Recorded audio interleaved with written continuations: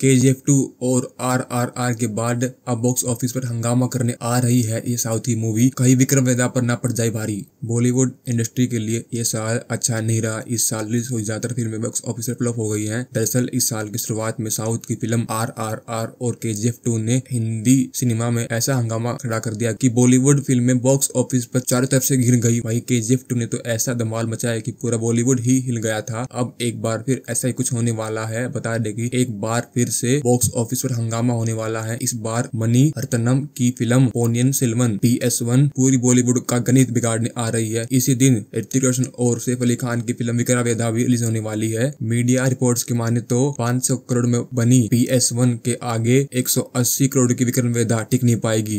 2017 में आई साउथ की फ़िल्म विक्रम वेदा ने सिनेमाघरों में ज़बरदस्त हंगामा मचाया था। अब इसका हिंदी रिमेक लेकर आ रहे हैं डायरेक्टर पुष्कर और गायत्री।